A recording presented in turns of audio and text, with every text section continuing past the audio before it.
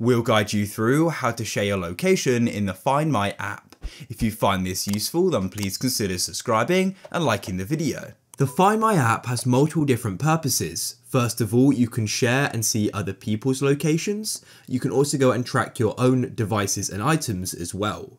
So to go and share your location, what you need to do is come into people in the bottom left, and you can then swipe up like so.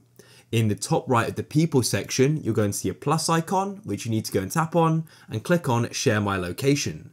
It will then go and suggest some people you can share your location with. I'm going to go and type somebody in here. After you've selected a person or multiple people, you can go and click on send in the top right.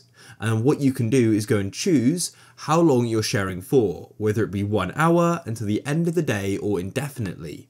In this case, I'll just go and share for one hour and you'll go and get a pop-up that you started sharing your location with them. And now when I scroll down the people list, it'll go and see the person I shared my location with, George, can go and see my location. However, they haven't shared their location back with me, so therefore I can't go and see theirs. But that's it. If you found this useful, then leave a like.